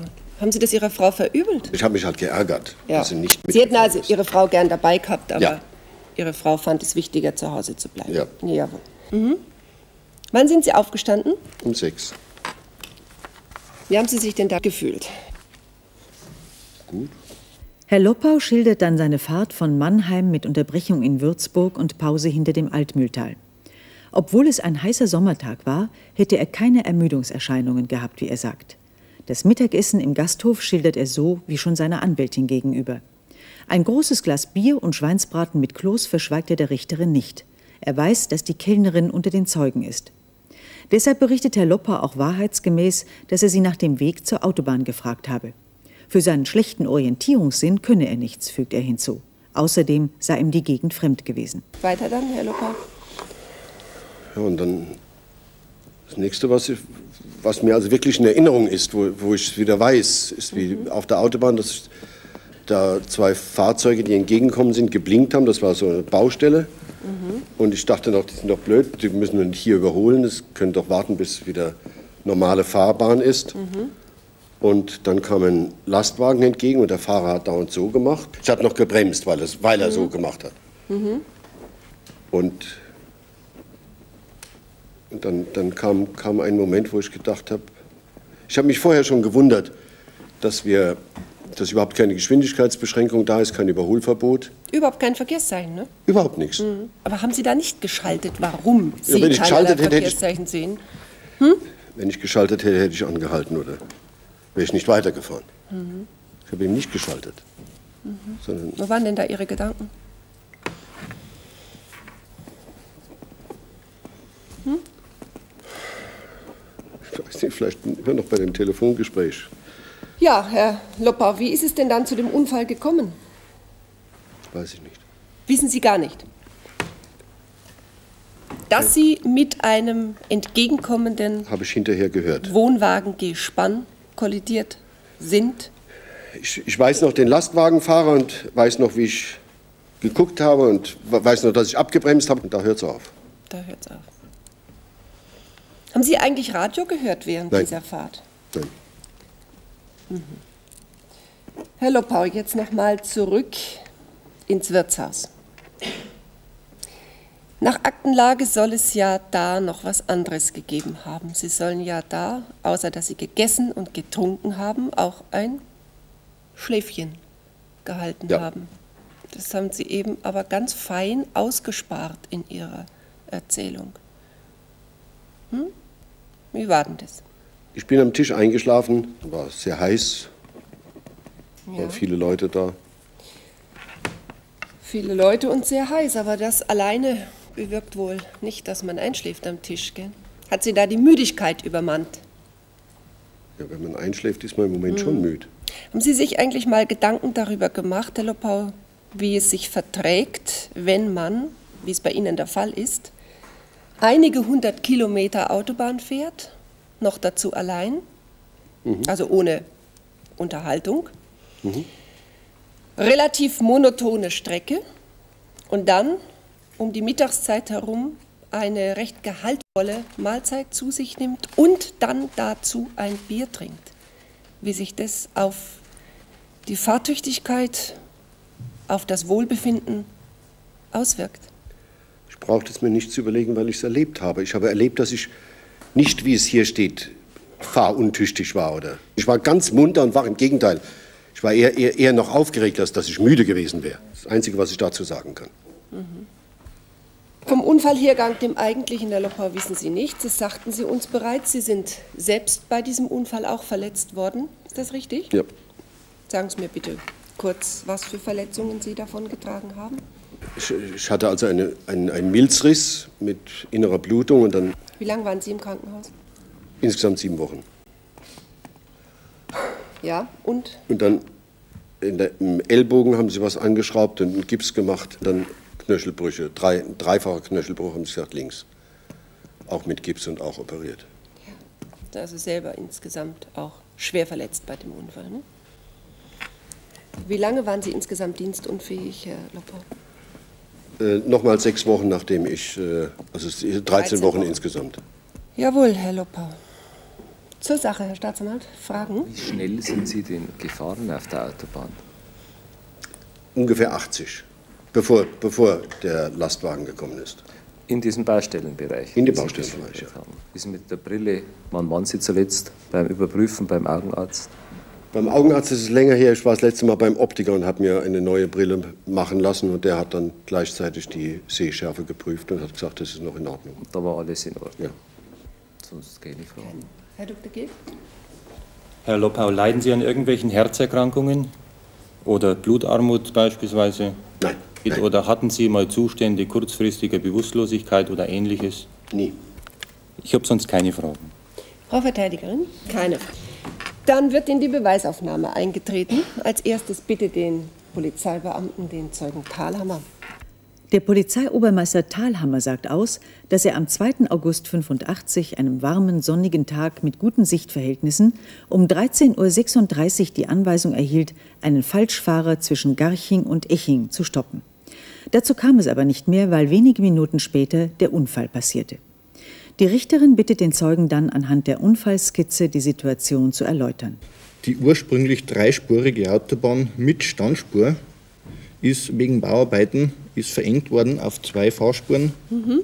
Die Geschwindigkeitsbegrenzung ist auf 80 km/h herabgesetzt worden. Aber- Als wir an die Unfallstelle gekommen sind, äh, sind die beiden Fahrzeuge, also das ist das, der Audi des Herrn Loppau, Mhm. das quer, ja. bezeichnet mit 04. Ja. Äh, Mhm. dieses Fahrzeug, das ist das vom Herrn äh, Fiat. Mhm. Äh, 02, das 02, ist also ja, der Genau, der, ja. PKW Jakobi. Mhm, genau, vom Herrn Dr. Jakobi 03 war das. ist Äh, der Wohnwagen. Der 03, das ist äh, ein Wohnwagen vom PKW Jakobi. Ja. Der ist äh, Der lag, nach, ne? nach unserer Feststellung bei dem Anstoß äh, hat er, ist er aus der Kupplung rausgerissen Ja. worden und äh, ist nach rechts umgefallen. Mhm, lag auf der Seite. Er lag auf der Seite, Jawohl. ja. Dann haben wir hier hinten noch zwei Fahrzeuge, Die Schweiger und Ja. Plesko, die spielen hier nur mittelbar eine Rolle. Insoweit ist ja nicht Anklage erhoben worden. Fräulein Schweiger ist angehalten, der Herr Bläsker hat so ein bisschen Speck gesehen und ist dann. Und ist er drauf. Dann zur weiteren Skizze, Herr Thalhammer, die ist ebenfalls von Ja. Ihnen und zeigt uns die Zufahrt. Die ja? Einfahrt der Mhm. Anschlussstelle Garching, kurz erklärt, äh, unten verläuft die B471.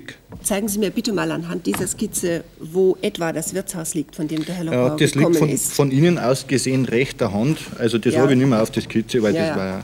Mhm. Äh, Wie weit ist es denn ungefähr bis Das sind äh, geschätzt, kann man sagen, vier, vier fünf Kilometer. Ja. Der Herr Loppau ist dann nach links abgebogen Ja. in, in die Einfahrt, Ja, ist aber dann geradeaus in die Ausfahrt. in Richtung, äh, also in die Ausfahrtsspur ist er reingefahren Ja. und hat die Autobahn gekreuzt und ist dann in Richtung Eching auf der falschen Fahrbahn gefahren. Jawohl.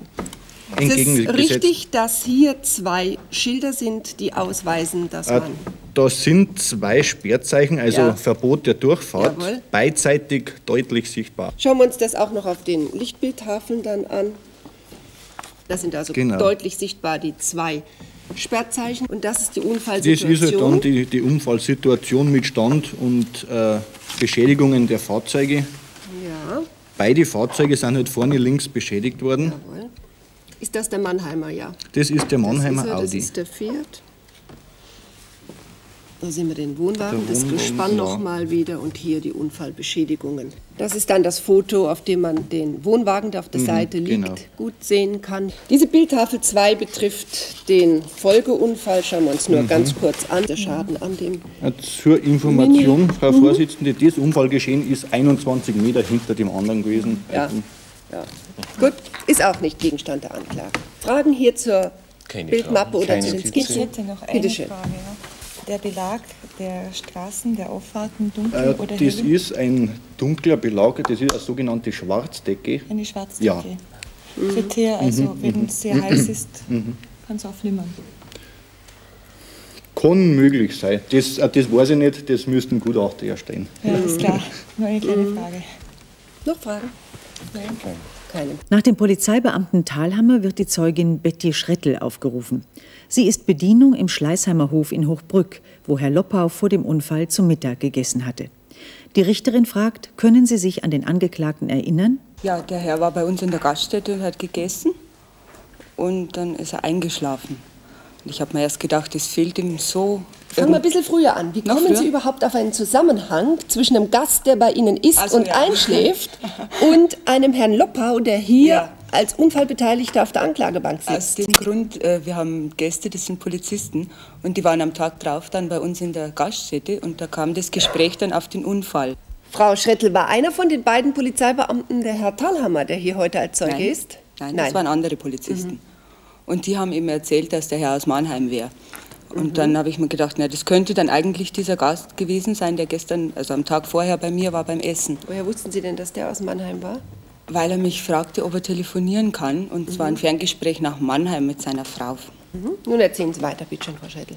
Ja, er hat dann am Tisch eingeschlafen und ich habe mir erst gedacht, das wird ihm gesundheitlich irgendwie schlechter gehen und habe ihn dann gefragt, ob ihm nicht gut ist. Mhm. Dann sagt er, na, er ist nur müde. Er hätte die letzte Nacht schlecht geschlafen.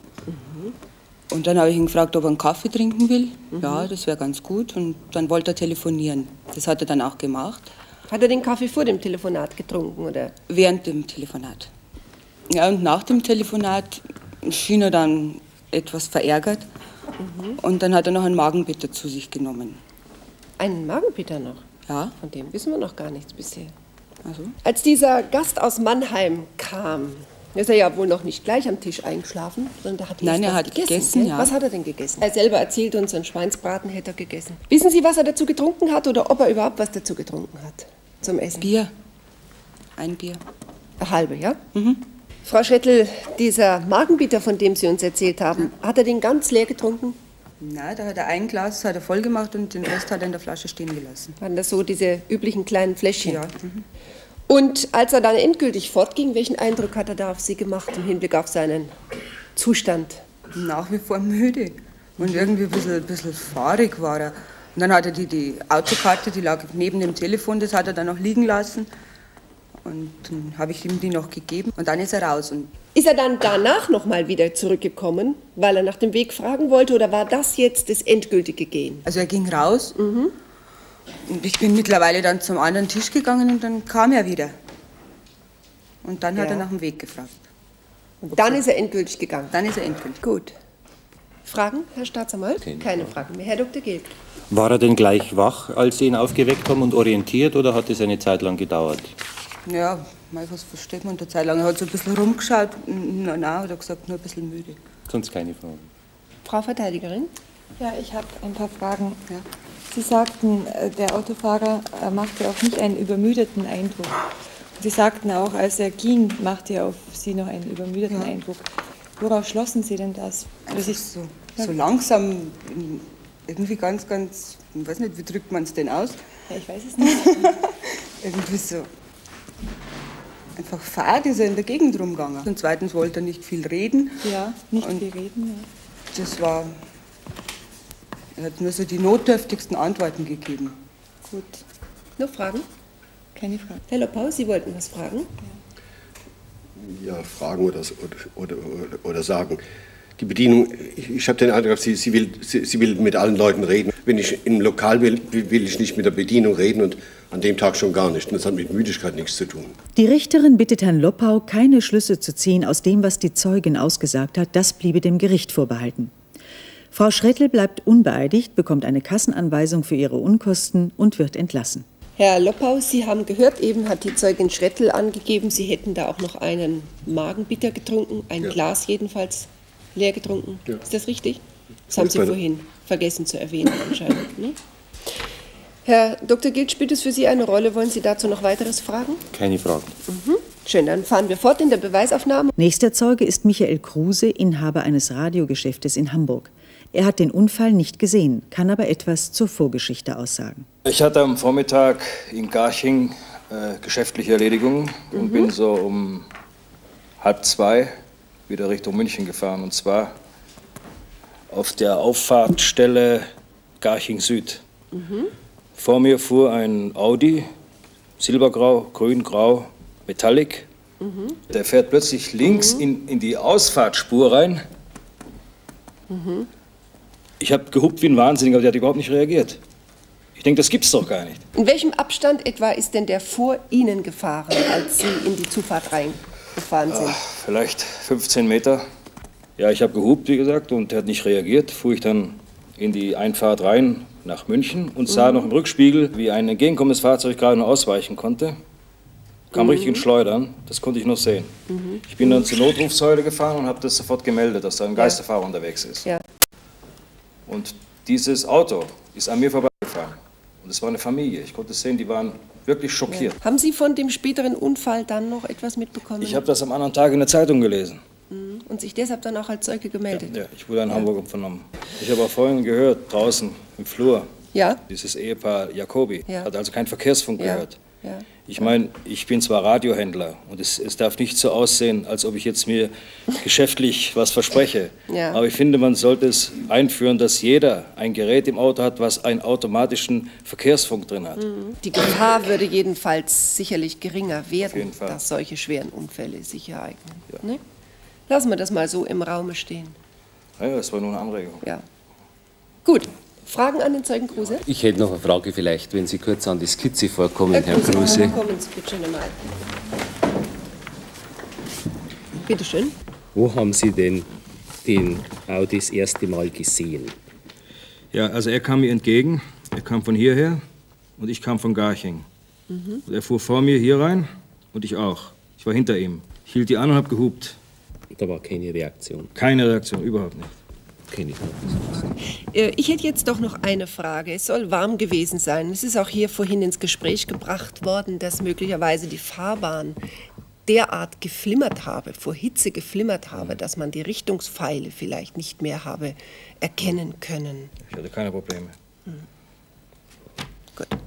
Fragen, Herr okay. Staatsanwalt, Frau Verteidigerin? Keine Fragen mehr an den Zeugen Kruse. Er kann nach Hamburg zurückreisen. Aus Kassel ist der Zeuge Paul Schuster angereist. Er ist der Lkw-Fahrer, der von einem Kollegen über CB-Funk gewarnt wurde, dass ein Geisterfahrer unterwegs sei. Ein paar Minuten später sah ich ihn dann auch. Kam er Ihnen entgegen? Ja, ausgerechnet an der Stelle, die wegen Bauarbeiten von drei auf zwei Fahrspuren verengt ist. Mhm. Ich bin dann sofort mit meiner Geschwindigkeit runtergegangen auf ungefähr 60 km/h. Und haben Sie sonst noch ja, irgendwas? Ich dachte mir nur, hoffentlich überholt keiner. Ja versuchte mit allen Mitteln den Pkw vor mir und die hinter mir zu warnen. Ich gab Lichthupe, ich winkte mit meiner linken Hand, winkte aus, aus dem Fenster. Fenster raus. Genau, ja. Mhm. Und? Ja, der Herr hier verringerte auch seine Geschwindigkeit und ich meine, der Entgegenkommende? Nicht, ja, der Entgegenkommende. Ich meine, es wäre nicht auszudenken gewesen, wenn er mit voller Geschwindigkeit weitergefahren wäre. Ja, und wie ging es dann weiter? Naja, ich, als er dann an mir vorbeifuhr, schaute ich halt in den Rückspiegel und ja. sah dann, wie der Camper gerade zum Überholen ansetzte und der PKW, der fuhr ihm halt direkt rein. Ich hielt sofort an und rannte zur Unfallstelle. Es war ein dramatischer Unfall, ne? Ja, es war schrecklich. Ja. Ich mhm. rief dann dem Albert, meinem Beifahrer, zu, dass er halt durchgeben soll, dass es drei schwer und einen leicht Verletzten gegeben Das hat. war sehr gut, dass Sie das so gemacht haben, Herr Schuster. Jawohl. Fragen? Herr Staatsanwalt. Herr Sachverständiger. Konnten Sie das Gesicht dieses Pkw-Fahrers sehen oder erkennen? Ich habe die Person gesehen, aber nicht den Gesichtsausdruck, weil Mhm. ich war auch hin und her. Ich war auf dem Rückspiegel, guckte, ob jemand überholt Ja. Und dann wieder zu ihm geschaut und dann wieder in den Rückspiegel und Mhm. dann war er auch schon vorbei. Ich möchte mich nur bei Herrn Schuster bedanken, weil er mich wenigstens noch ein bisschen gebremst hat. Sonst wäre ich mit 80 draufgefahren und so vielleicht mit 60 oder 50. Gut. Möglicherweise hat der Lkw-Fahrer Schuster durch sein Handzeichen nicht nur Herrn Loppau, sondern auch das Ehepaar Jacobi vor noch Schlimmerem bewahrt. Herr Schuster wird mit Dank entlassen und der Zeuge Dr. Wolfgang Jacobi aufgerufen. Er sagt aus, dass er längere Zeit hinter einem Lkw herfahren musste. Meine Frau wollte eigentlich, dass ich überhole, weil sie Mhm. war ja schwanger, die, wegen der Auspuffgase, aber der fuhr ziemlich schnell, also fuhr die vorgeschriebenen 80 etwa. Ja, und Sie dürfen ja auch nicht mehr. Ich darf auch nicht mehr. Und äh, dann bremste der LKW, wurde langsamer. Mhm. Das nahm ich zum Anlass zu überholen.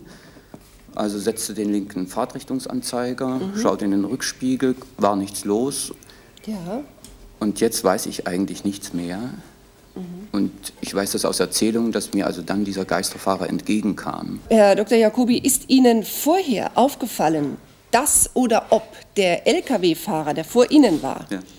Handzeichen gegeben hat? Nein. Sie sind nicht vorgewarnt gewesen durch Nein. irgendwelche Zeichen dieser Art oder anderer Art. Nein. Nun zu Ihren Verletzungen, Herr Dr. Jacobi. Der rechte Unterschenkel ist gebrochen, der rechte Oberschenkel, ein sehr komplizierter Trümmerbruch, sehr kompliziert. Ja. Dann hatte ich drei Rippen gebrochen. Was sehr schwierig war, war der Bruch im rechten Oberschenkel. Da lag ich zwei Monate völlig fest, völlig ruhig. Im dritten Monat fingen dann die krankengymnastischen Übungen an, die ich jetzt auch noch fortsetze, dreimal täglich die Woche. Und da liegt auch das Problem, dass es sein könnte, dass sich das ganze Bein verkürzt. Ein Dauerschaden liegt noch im Bereich des Möglichen. Man kann es anscheinend noch nicht genau abklären. Nein, erst in Jetzt, zwei ne? Jahren, aber erst sehr wahrscheinlich. Ja. Herr Dr. Jacobi, wie hat sich das jetzt beruflich für Sie ausgewirkt? Wie lange waren Sie nicht arbeitsfähig oder sind Sie Ich inzwischen habe überhaupt hab jetzt am 1. Januar wieder angefangen, ganz langsam angefangen wieder zu arbeiten, Ja. kann aber das rechte Bein zum Beispiel noch nicht schmerzfrei voll belasten. Sind Sie selbstständig oder sind Sie Ja, angestellt als. Chemiker? Haben Sie ein Labor? Ja. Fragen an den Zeugen? Ja, zwei Fragen. Waren Sie angeschnallt bei dieser Ja, Tat? sonst hätte ich das, glaube ich, nicht Und überlebt. dann noch eine Frage. Neben Ihren Verletzungen, wie hoch war denn der Sachschaden an Ihrem Fahrzeug und diesem Wohnwagen? Der war insgesamt etwa bei 7000 Mark. Ich meine, was, was mich vor allem und was meine Frau auch betrifft, ist, dass vor drei Tagen wäre unser Kind geboren worden, wenn alles planmäßig gelaufen wäre. Mhm. Wir wären also jetzt zu dritt, hätten eine Familie. Mhm. Und meine Frau äh, kann diesen Verlust nicht verkraften. Wir haben ja Ihre Frau zwar als Zeugin geladen, aber wenn es nicht notwendig ist, meine ich, sollte ich sie oder müsste ich sie nicht vernehmen, denn zum Unfall weiß sie ja wohl genauso wenig wie Sie. Ich würde es ihr gerne ersparen. Was meinen Sie?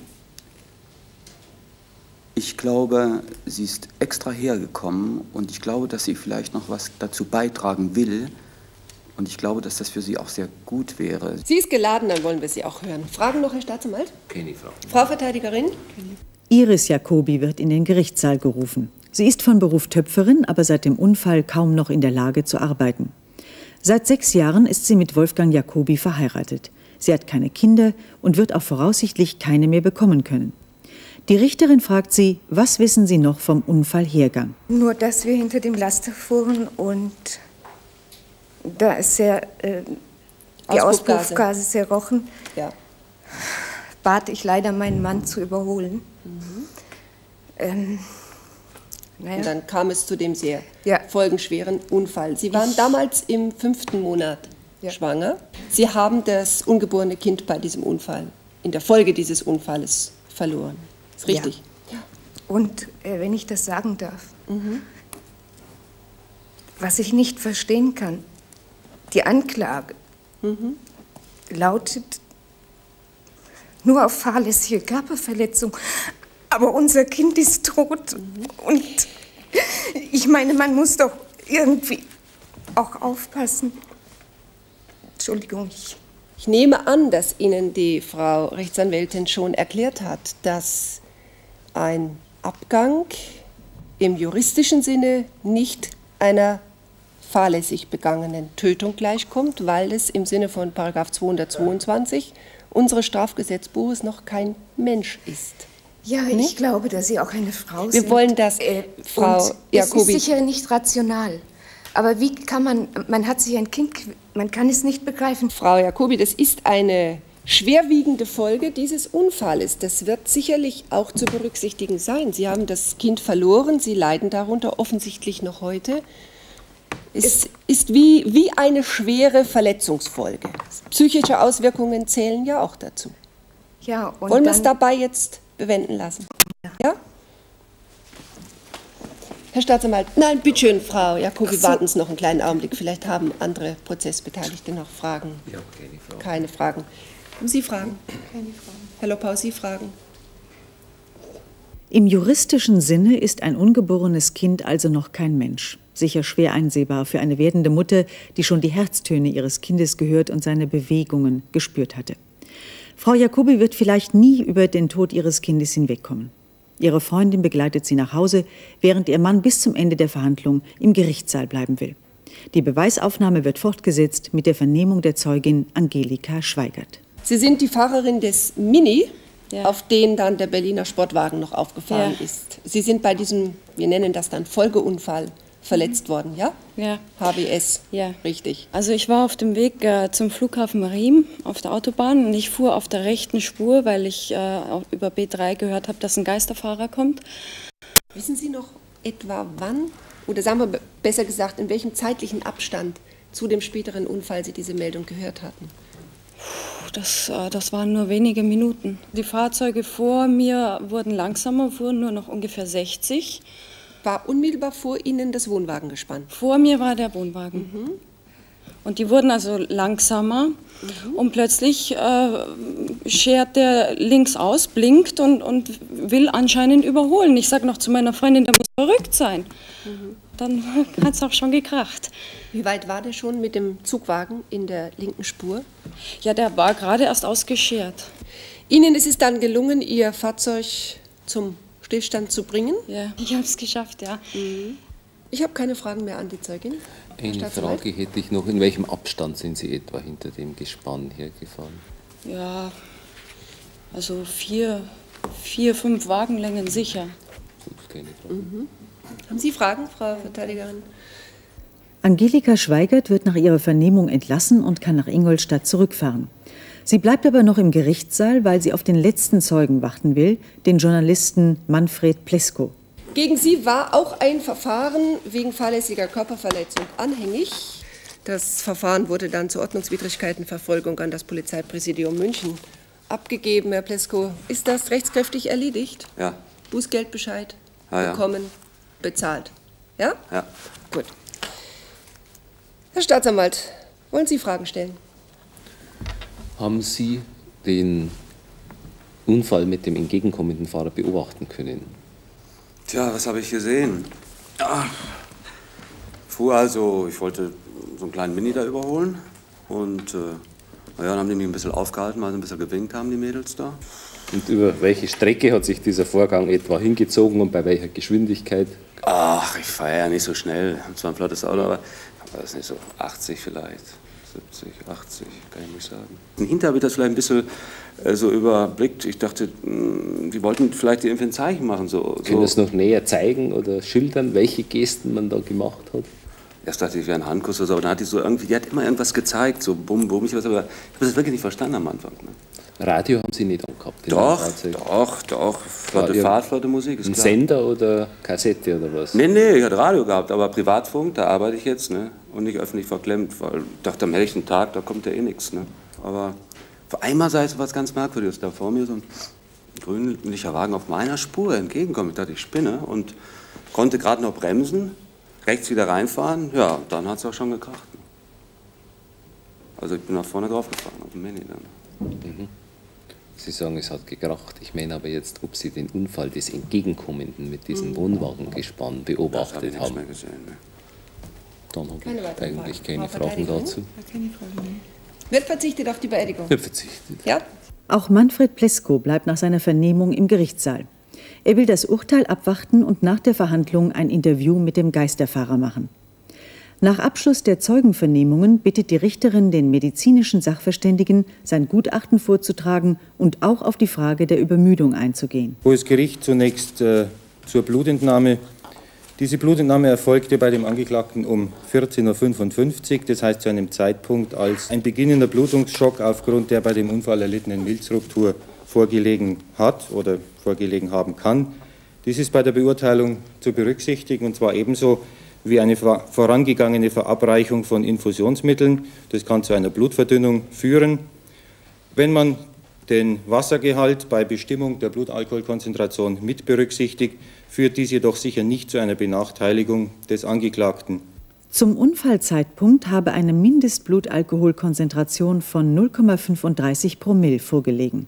Diese 0,35 Promille, wenn man sie zunächst isoliert betrachtet, das heißt ohne äh, Berücksichtigung anderer Faktoren wie Übermüdung, was hier im Raume steht, äh, da kann, und das wird eben aufgrund von Untersuchungen immer wieder angeführt, es durchaus zu Aufmerksamkeits- und Konzentrationsstörungen kommen, äh, allerdings individuell unterschiedlich und nicht regelmäßig. Das heißt, im vorliegenden Fall ist wohl entscheidend und als wesentlich mitwirkender Faktor zu berücksichtigen eine äh, mögliche Übermüdung. Äh, wenn man den Angaben folgt, und zwar insbesondere äh, den Angaben des Angeklagten gegenüber der Zeugin, dann ist wohl davon auszugehen, dass ein gewisses Schlafdefizit aus der ver vergangenen Nacht vorgelegen hat. Weiterer Faktor ist eine sogenannte Verdauungsmüdigkeit. Wir haben gehört, dass es ein reichhaltiges Essen äh, mittags gab, ein kräftiges Mittagessen, und es kommt eben im Rahmen der Verdauungstätigkeit äh, zu einer verstärkten Durchblutung des Magen-Darm-Traktes sodass äh, hier eine relative Minderdurchblutung des Gehirns resultieren kann und entsprechende Leistungsminderungen auftreten können. Zu berücksichtigen wäre als gegensinnige Faktoren, eine Tasse war es wohl, Kaffee und äh, des Weiteren das emotional eher aufrüttelnde Telefongespräch. Das im Kaffee enthaltene Koffein, und zwar sind äh, in der Regel enthalten ca. 100 Milligramm, das wirkt zunächst stimulierend. Diese Verbesserung ist jedoch in aller Regel nur kurzzeitig und es kann sogar im Nachhinein zu einer deutlichen noch Verschlechterung äh, der Befindlichkeit kommen. Zusammenfassend aus medizinischer Sicht als Ursache für dieses verbotswidrige Einfahren, und das ist wohl der entscheidende Moment hier, und die spätere Geisterfahrt, äh, ist in Betracht zu ziehen eben eine deutliche Störung der Vigilanz, nämlich der äh, Verminderung der Konzentration, Wachheit, Aufmerksamkeit und Reaktionsfähigkeit als Folge einer Ermüdung bzw. Übermüdung. Und Ursache dieser Ermüdung ist in diesem nächtlichen Schlafentzug primär zu sehen. Und dann äh, kommt als wesentlicher Faktor natürlich noch hinzu diese für sich allein nicht sehr, äh, für sich allein mäßiggradige Alkoholisierung. Äh, und das hat wohl letztlich oder aus medizinischer Sicht äh, kann man davon ausgehen, dass dies als Ursache dafür anzusehen ist, dass äh, der Angeklagte äh, eben aufgrund einer Konzentrationsstörung und Aufmerksamkeit, Aufmerksamkeitsstörung dann äh, diese ähm, Hinweiszeichen nicht, nicht bemerkt hat und hier als Geisterfahrer letztlich aufgetreten ist. Das heißt also, Herr Dr. Gilg, eine und zwar relative Fahruntüchtigkeit durch einen bestehenden körperlichen Mangel. Darauf ist es wohl letztlich äh, in der Würdigung äh, zurückzuführen. Aus medizinischer Sicht deutet eben alles darauf hin, dass hier eine äh, Fahrsicherheit nicht mehr gegeben war. Mhm. Dankeschön. Herr Staatsanwalt, Fragen? Keine Fragen. Keine mehr, kein Beeidigungsantrag? Dann Beschlusszeuge. Der Sachverständige bleibt unbeeidigt. Herr Dr. Gilg, ich danke Ihnen. Die Richterin schließt die Beweisaufnahme. In seinem anschließenden Plädoyer fasst der Staatsanwalt zunächst die Vorgeschichte des Unfalls zusammen. In der Nacht habe der Angeklagte schlecht geschlafen. Dann eine lange, ermüdende Autofahrt an einem heißen Sommertag. In der Mittagspause wäre er dann, ich zitiere den Staatsanwalt, der Versuchung des bayerischen Nationalgerichtes erlegen, habe sich Schweinsbraten schmecken lassen und dazu ein Bier getrunken.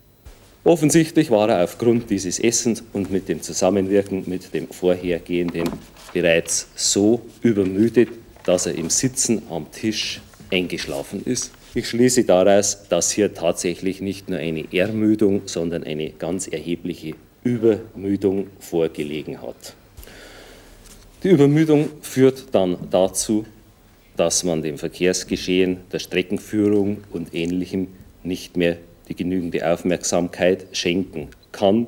Angeklagte war eben nicht mehr verkehrstauglich, sodass es hier zu diesem Vorfall gekommen ist. Angeklagte wurde selber schwer verletzt, aber bedauerlicherweise sind hier zwei andere Personen sehr schwer verletzt worden.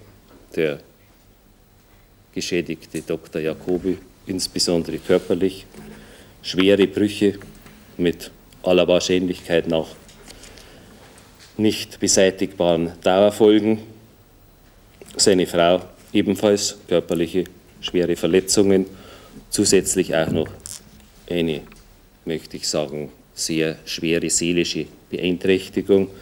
Zusammenfassend wäre zum Tatbestand hier zu sagen, dass die Straßenverkehrsgefährdung in der Form des Fahrens mit einem körperlichen Mangel zweifelsfrei hier verwirklicht ist und rechtlich zusammentreffend hier zwei Vergehen der fahrlässigen Körperverletzung, wobei es sich hier um sehr schwere Folgen handelt.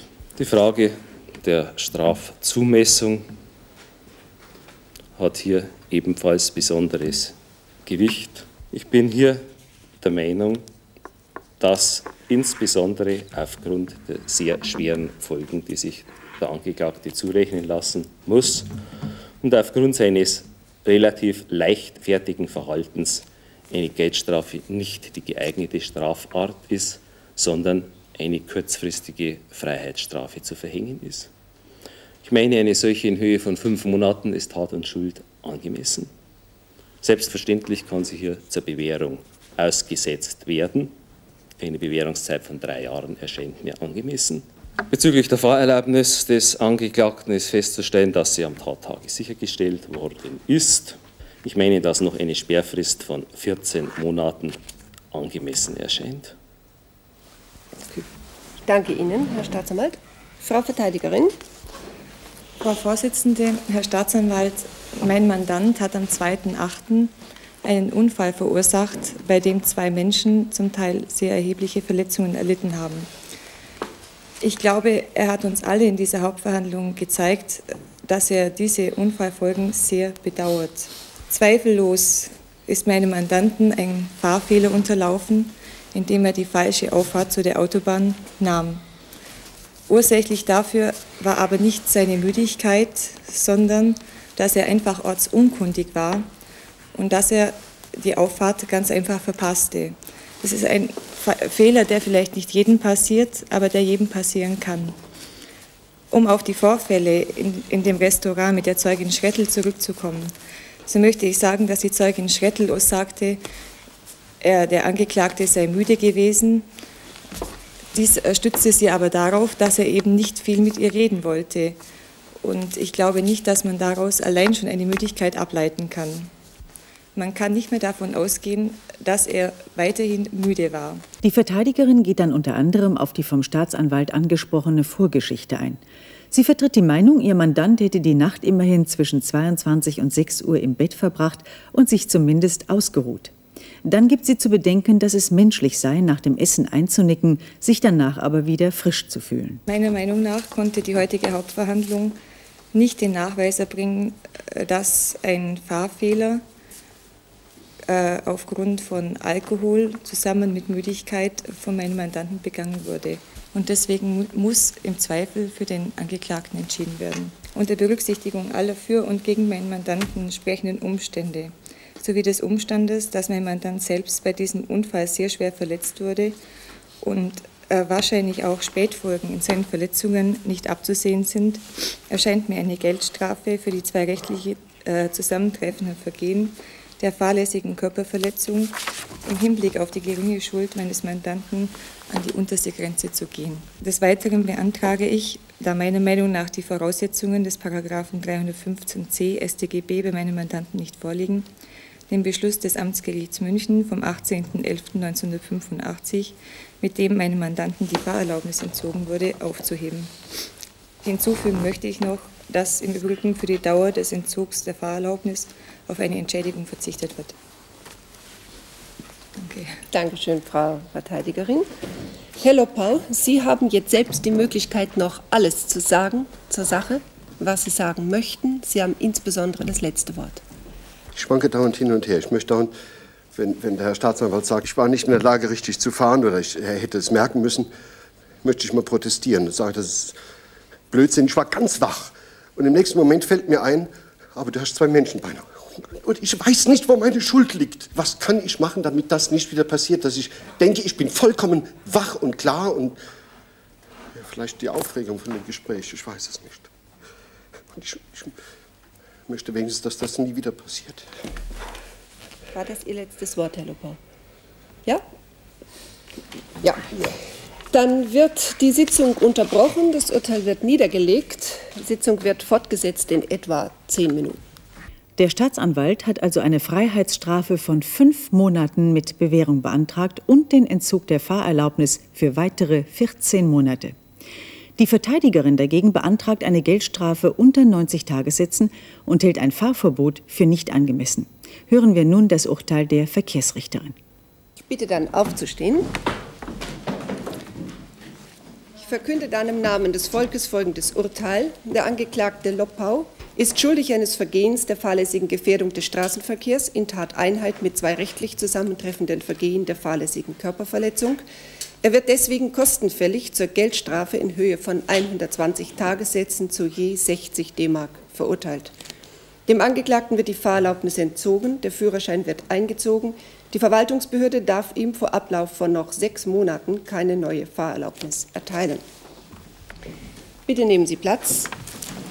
Zur Begründung kurz Folgendes. Sie haben der Tenorierung bereits entnehmen können, dass das Gericht von einem festgestellten Sachverhalt ausgeht, wie er bereits Gegenstand der Anklage ist. Das heißt, dass es am 2.8. gegen 13.42 Uhr auf der Autobahn zu einem folgenschweren Unfall aus dem Verschulden des Angeklagten gekommen ist und zwar aus einem Verschulden, das darin bestand, dass er infolge Übermüdung, also infolge eines körperlichen Mangels, den er auch, wenn er die im Verkehr erforderliche und ihm auch zumutbare Sorgfalt hätte walten lassen, erkennen können, gekommen ist.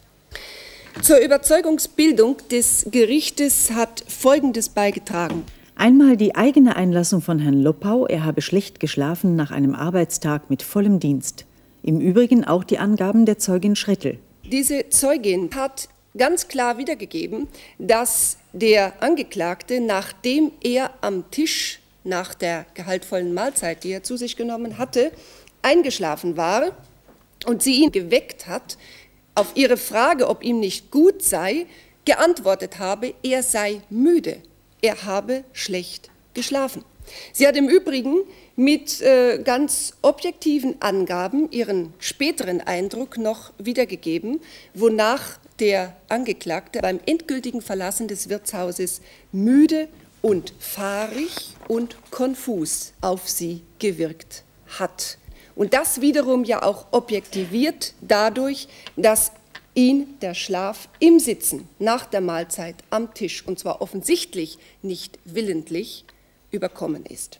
Die Richterin ist der Meinung, dass das falsche Einfahren in die Autobahn zur taghellen Mittagszeit weder auf Ortsunkundigkeit noch auf das Telefongespräch mit seiner Frau zurückgeführt werden kann, sondern auf Übermüdung. Für die Übermüdung spreche auch das Überhören der Hubsignale des Zeugen Kruse. Aufgrund dieser Übermüdung, aufgrund dieses körperlichen Defizites ist es zu dem folgenschweren Unfall gekommen. Sehr schwere körperliche Verletzungsfolgen bei den beiden Zeugen Jacobi, insbesondere bei der Ehefrau, die infolge dieses Unfalles das sehr schmerzliche Erlebnis hatte, dass sie ihr ungeborenes Kind verloren hat und mit der Wahrscheinlichkeit leben muss, dass sie möglicherweise jetzt kein Kind mehr bekommen wird. Bei dem Unfall ist Herr Loppau selbst auch schwer verletzt worden. Von den Verletzungen abgesehen ist darüber hinaus auch erheblicher Sachschaden entstanden. Zum Rechtlichen ist noch Folgendes anzuführen. Nach der derzeitigen Rechtslage ist das Geisterfahren, das Falschfahren entgegen der Fahrtrichtung auf der Autobahn bisher soweit nicht besondere, gravierende, erschwerende Umstände, die hier nicht vorliegen, nämlich beispielsweise absichtsvolles Verhalten, hinzukommen, lediglich eine Ordnungswidrigkeit.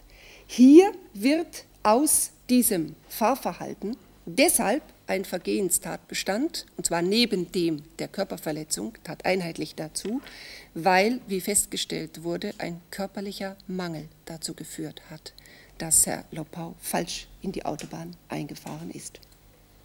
Zur Strafzumessung ist Folgendes auszuführen.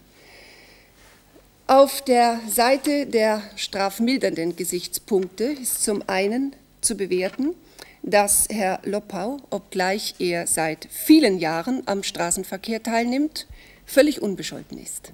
Außerdem müsse man berücksichtigen, dass der Angeklagte selbst schwer verletzt worden sei, dass er unter seinem Verschulden an dem Unfall leide und die Folgen zutiefst bedauere. Bei den Strafschärfungsgesichtspunkten seien die schweren körperlichen und seelischen Verletzungsfolgen bei dem Ehepaar Jacobi zu berücksichtigen.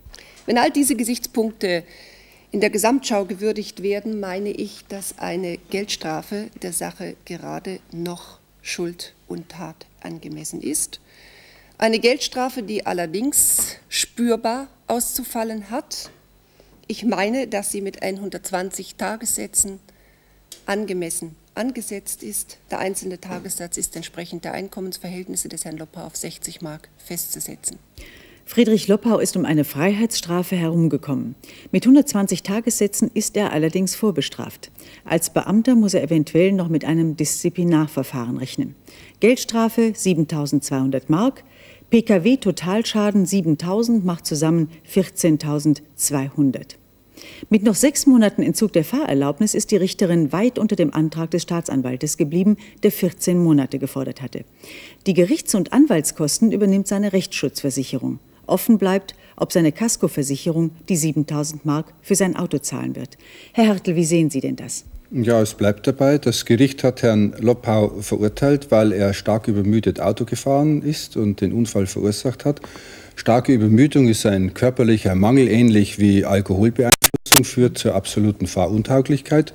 Und das ist grobe Fahrlässigkeit im Sinne unserer Bestimmungen. Vielen Dank, Herr Hertel. Auf annähernd 100.000 Mark also beläuft sich der gesamte materielle Schaden, der im Zusammenhang mit dem Geisterfahrerunfall entstanden ist.